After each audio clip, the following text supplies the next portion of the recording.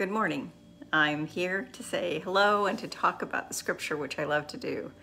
Um, it's been a rough week, and today's not great, but I'm here and we get to talk about Paul's book to uh, letter to the church at Rome. And at the end of the first chapter, where we were last week, he um, spoke about a lot of things that he saw were evil and broken in his world. And um, as I said last week, there are people who use one or two of those scripture passages to condemn people who um, find their love and their hope in uh, a person of the same gender. But it's interesting that, you know, as often as I've uh, read those commentaries about those scripture verses in Romans 1, you know, nobody bothered to go on to Romans 2. And so when I started reading that for today, I was like, yeah, we don't really talk about this one if we're using the other one to condemn others. Because what Paul goes on to say, and he's speaking um, particularly to uh, Jewish folk. Okay, just a notation, and I'll talk more later. But Jewish folk um, were the chosen people of God. I mean, I guess that's puts it there. They were chosen and God loved them no matter what, and they were getting to the kingdom in the sky no matter what because God loved them as chosen people. And so they didn't worry about so much what they did. Um, some of them didn't. And of course, that's all judgment. Well, here's what Paul is saying to them who feel as though they've got a special in with God. Um, and first he says those people, the people we talked about last week who were um, sinning, breaking relationship with God, which is what sin is, is breaking relationship with God. Those people are on a dark spiral downward. But if you think that leaves you on high ground where you can point your finger at others, think again. Every time you criticize someone, you condemn yourself. It takes one to know one. Judgmental criticism of others is well is a well-known way of escaping detection of your own crimes and misdemeanors. But God isn't so easily diverted. He sees right through all such smoke screens and holds you to what you've done. You don't think, do you, that just by pointing the fingers of others, you could distract God from seeing all your misdoings and from coming down hard on you? Or did you think that because he's such a nice God, he'd let you off the hook? Better think this one through from the beginning. God is kind, but God's not soft. In kindness, God takes us firmly by the hand and leads us into radical life change. You're not getting by with anything. Every refusal and avoidance of God adds fuel to the fire. The day is coming when it's going to blaze hot and high, God's fiery and righteous judgment. Make no mistake. In the end, you'll get what's coming to you. Real life for those who work on God's side, but for those who insist on getting their own way and taking their path of least resistance, fire.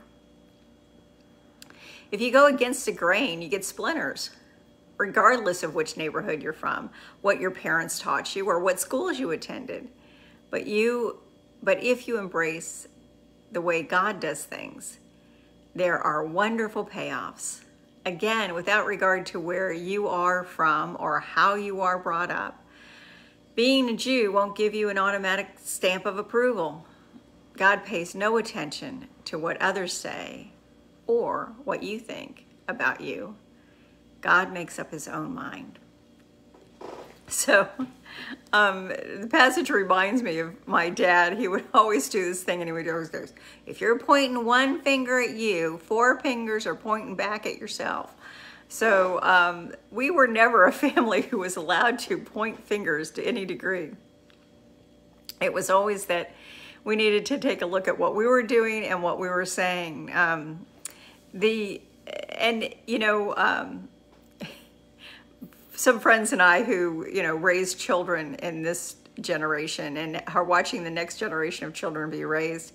You know, we talk about if we ever came home from school and complained about the teacher or somebody giving us a problem, the first response out of a parent's mouth was, well, what did you do wrong? Well, how are you going to make it right? Well, it's your responsibility. If something, you know, if somebody has a problem, you got to fix it.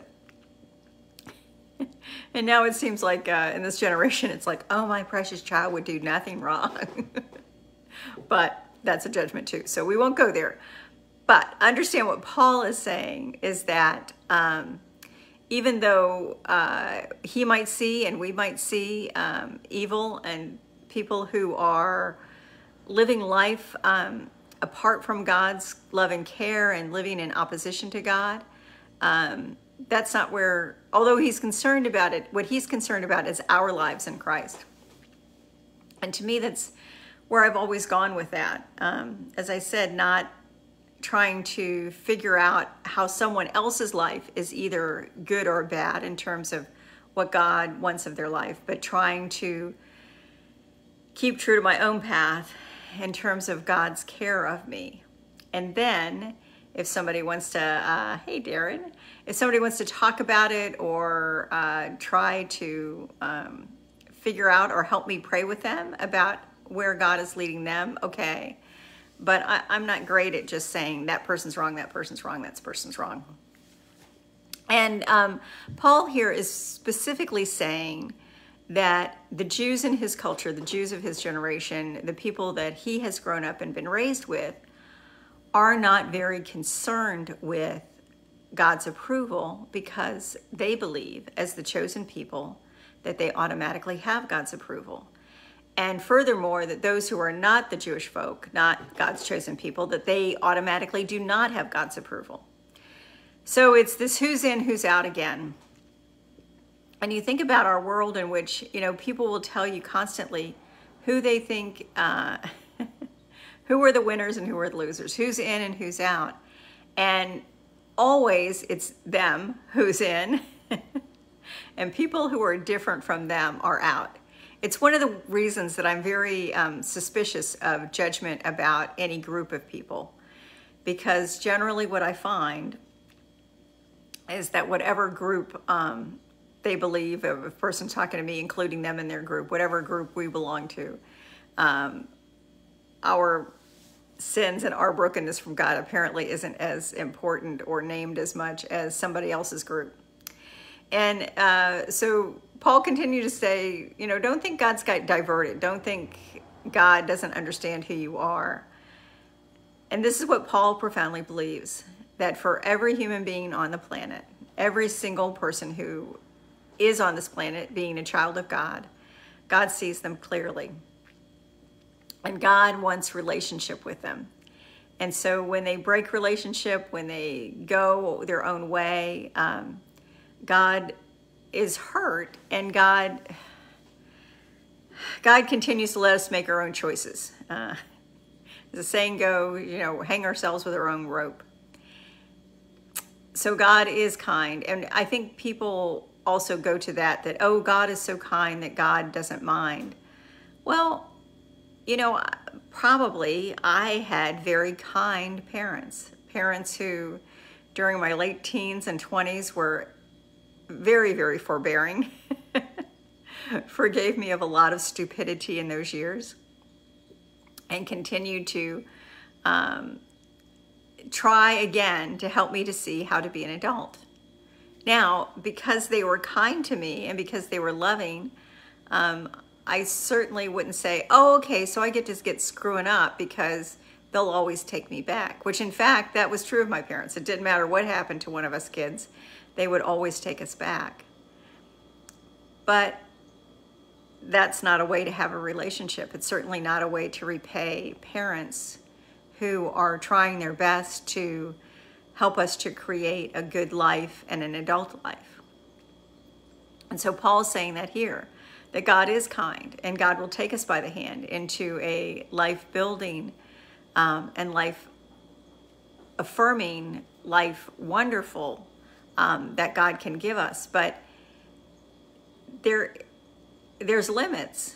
You know, I love the way uh, Eugene Peterson puts it. You know, if you go against the grain, you get splinters. If you do stuff that's stomach, stupid, I'm sorry, I'm not great, stupid and hurtful, then yeah, there's consequences to that. Again, in parenting classes, I taught, um, one of the things that we said for young children was to let them feel the consequences of their behavior and not go and rescue them all the time so they could understand that there were consequences to behavior. And for me, that was this what Paul is saying here that um, the Jewish folk who believe that they are the chosen people of God don't really think that the consequences are going to touch them in terms of eternal kingdom with God, but they get a get out of jail free card. I've been saying lately this week, I get a get out of jail free card because of cancer, because people are being very kind and um, forbearing with me. But uh, so Paul is just upset that um, that these Jewish folk, who again are his brothers and sisters in God, who were the community in which he grew up, who have this wonderful, wonderful history and relationship with God that is offered to them. Um, count it as not that important because they'll always have it. And I guess if you look at some people in our world or um, hopefully look at ourselves, that oftentimes we have taken for granted God's loving care of us and um, perhaps not had as grateful of hearts. Because what we are told and what I believe is that God always loves us, that God always forgives us, and that God always desires for us to be in relationship with God. But that's no reason to take it for granted. Um, again, you think of parents, and if you live well with parents and you grow and you become an adult, hopefully also you continue to um, have a good, strong, appropriate adult relationship with parents. Again, it's not exactly the same because our relationship with God is never that equal, but to understand the gratitude. And so Paul who sees the Jewish community around him um, judging and uh, naming quite clearly folks outside the chosen people, their sin, their brokenness, and giving judgment towards them says, eh, not so much. You know, don't think that you can divert God's attention from your sin by naming somebody else's. and I think sometimes that's what we do that God is focused on us and God knows us through and through. God understands our hearts and where we go and how we live. And for me, that's a very comforting thought because um, I want God to know my heart and I want my heart to be fully um, open and loving towards God. Knowing that every single day I mess up, every single day there's some brokenness that I create and that um, as I go to God and have a conversation about that, God is willing and able to lead me into a better life affirming way of living. And so, um, Paul in this passage says, Don't judge. Basically, get yourself right with God and know that that relationship is a gift. And in God's kindness, God will lead us in new relationship and deeper relationship with God. But the brokenness that we create is our own, and we have to live with the consequences of those brokenness. So that's me today. I'm, I'm not great. Hopefully next week I'll be better. and uh, those were the first 11 verses of the second chapter of Romans. So that's it for me. Thank you guys for watching, even on days when my chemo brain's a little bit stronger. But um, me and Doris wanted to say hi. Take care. Bye.